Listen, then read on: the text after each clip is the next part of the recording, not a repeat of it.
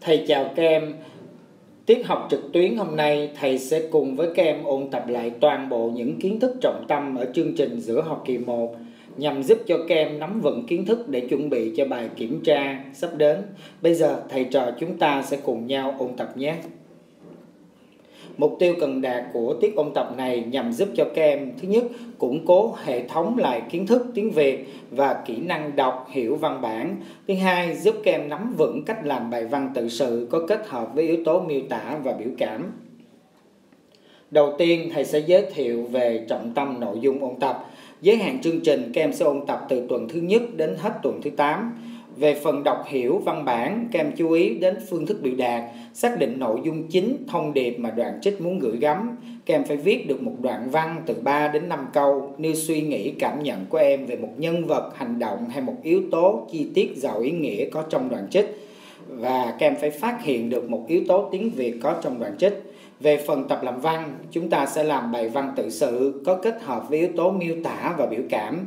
Các em chú ý ba đề. Đề thứ nhất, kể về một kỷ niệm ấu thơ làm cho em nhớ mãi. Đề thứ hai kể về một lần em mắc khuyết điểm khiến cho thầy cô giáo buồn. Và đề thứ ba các em phải kể được một việc tốt mà em đã làm khiến cho bố mẹ rất vui lòng. Về phương thức biểu đạt, có 6 phương thức biểu đạt cơ bản, các em cần chú ý mục đích giao tiếp để xác định cho đúng. Tự sự, mục đích giao tiếp là trình bày diễn biến sự việc. Miêu tả là mục đích tái hiện trạng thái sự vật con người. Biểu cảm, mục đích là để bày tỏ tình cảm cảm xúc về sự vật hiện tượng. Nghị luận, mục đích là nêu ý kiến, đánh giá, bàn luận về một vấn đề nào đó. Thuyết minh, mục đích là giới thiệu đặc điểm, tính chất, phương pháp về sự vật hiện tượng. Hành chính công vụ, mục đích là để trình bày ý muốn, quyết định nào đó, thiền quyền hạn trách nhiệm giữa người với người để xác định được nội dung chính. Cho chính xác, chúng ta cần phải đọc thật kỹ đoạn trích các em phải xác định được nội dung chủ đề mà đoạn trích muốn đề cập, hướng đến ai và về điều gì các em phải nhận ra được thông điệp mà đoạn trích muốn gửi gắm hoặc bài học rút ra là gì. Các em cần lưu ý khi trình bày phải thành câu, diễn đạt ngắn gọn và rõ ràng cụ thể khi viết một đoạn văn ngắn, học sinh không được tách đoạn, các em phải viết đúng theo số câu quy định, chú ý kỹ về lời thoại, hành động của nhân vật để làm nổi bật phẩm chất của nhân vật, phải nêu được quan điểm, cảm xúc của mình theo yêu cầu của đề thật cụ thể, biểu cảm phải hướng đến cái đẹp, tích cực, có giá trị nhân văn, không được viết chung chung hay kể dài dòng lan man gây khó hiểu. Bây giờ thầy sẽ cùng với các em đi ôn lại kiến thức tiếng Việt nhé. Đầu tiên đó chính là trường từ vựng. Trường từ vựng là tập hợp của những từ có ít nhất một nét chung về nghĩa. Ví dụ như trường từ vựng chỉ bộ phận cơ thể người như là mặt, gò má, đùi, da và mắt. Các em lưu ý, nét chung về nghĩa ở đây được hiểu là dùng chung cho một phạm vi sự vật nào đó về từ tượng hình, từ tượng thanh. Từ tượng hình là từ gợi tả hình ảnh dáng vẻ trạng thái của sự vật. Ví dụ như là sòng sọc, rủ rượi vật vã, mớm mém. Còn từ tượng thanh là từ mô phỏng âm thanh của thế giới tự nhiên của con người. Ví dụ như tiếng khóc hu hu hay tiếng kêu ư ử của một con chó các em lưu ý, thông thường các từ tượng hình, tượng thanh là các từ lấy. Tuy nhiên cũng có những từ tượng hình, tượng thanh không phải là từ lấy, ví dụ như là bóp, nè, rằm, lông mày, cong rướng. Ngoài ra do tính chất gợi hình và mô tả âm thanh, từ tượng hình, tượng thanh gợi được hình ảnh âm thanh cụ thể, sinh động như trong cuộc sống nên có sức biểu cảm cao. Chính vì vậy chúng được sử dụng nhiều trong văn tự sự, miêu tả và biểu cảm về từ ngữ địa phương và biệt ngữ xã hội. Với từ ngữ địa phương, đây là từ chỉ được dùng ở một hoặc một số địa phương nhất định. Ví dụ như là sáng ra bờ suối, tối vào hang, cháu bẹ rau măng vẫn sẵn sàng.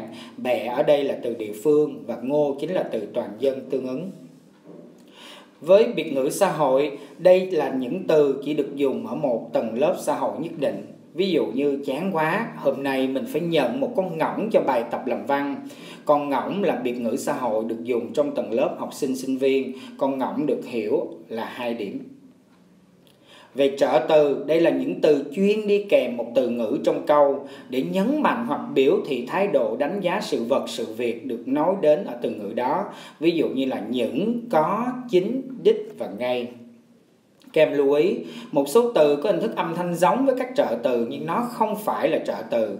Ví dụ, chính lúc này toàn thân các cậu cũng đang run run theo nhịp bước rộn ràng trong các lớp. Chính trong trường hợp này là trợ từ bởi vì nó có ý nhấn mạnh. Còn câu nó là nhân vật chính của buổi họp mặt tối nay, chính trong trường hợp này là tính từ. Với tháng từ, đây là những từ dùng để bộc lộ tình cảm cảm xúc của người nói hoặc dùng để gọi đáp. Dùng để bộc lộ tình cảm cảm xúc có từ a, ái, ơ, ôi, ô hay, than ôi, trời ơi.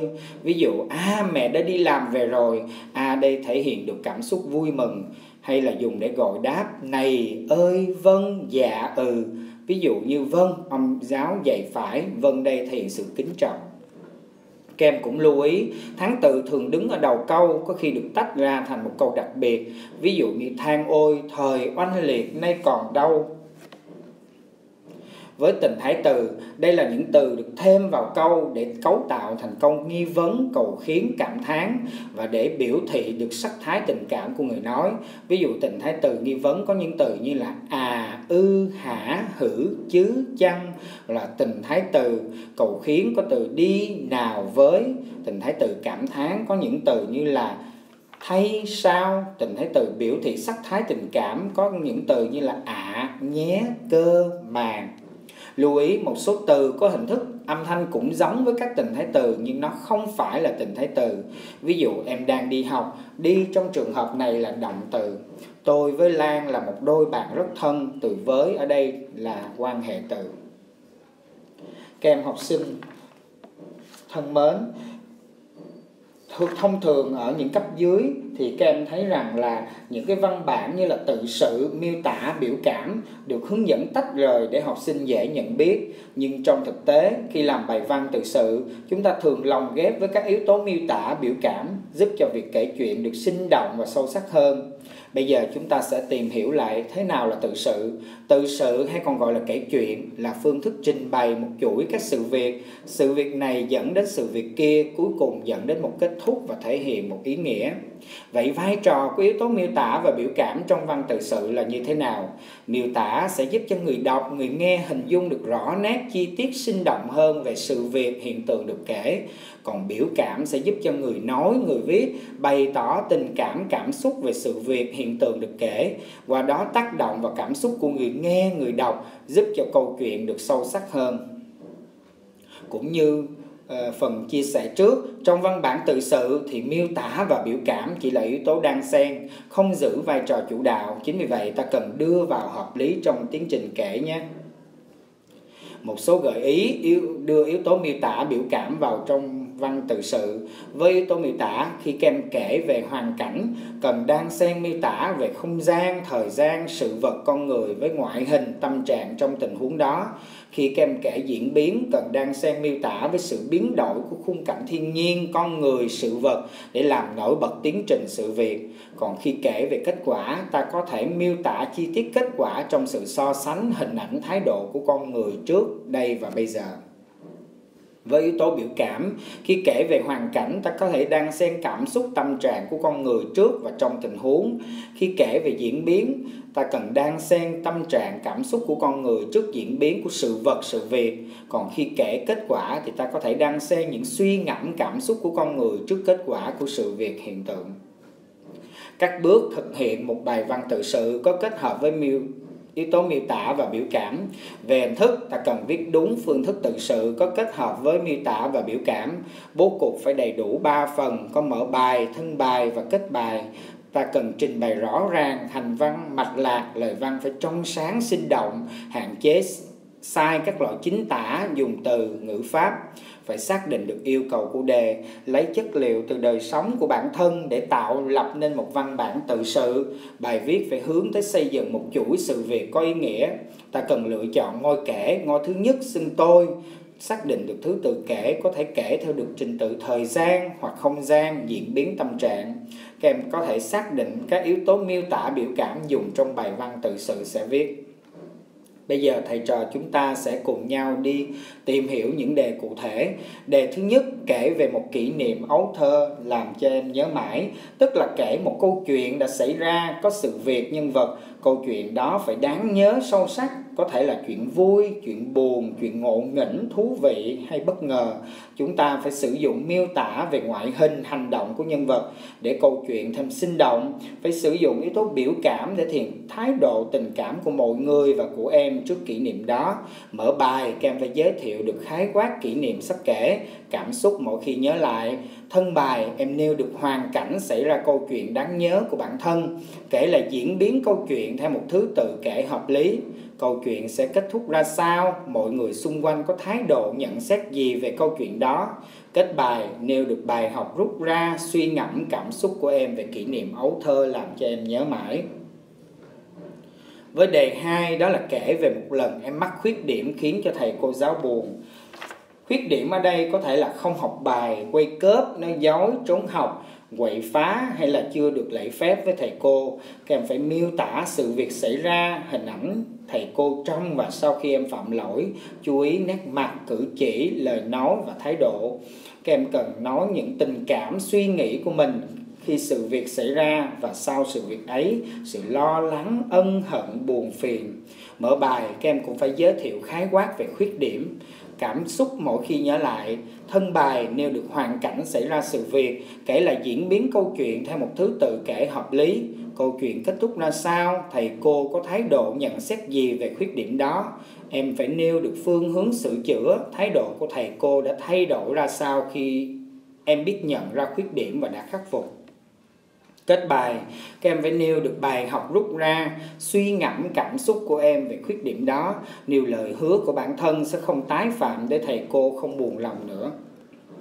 Đề thứ ba, đó là kể về một việc tốt mà em đã làm khiến cho bố mẹ vui lòng.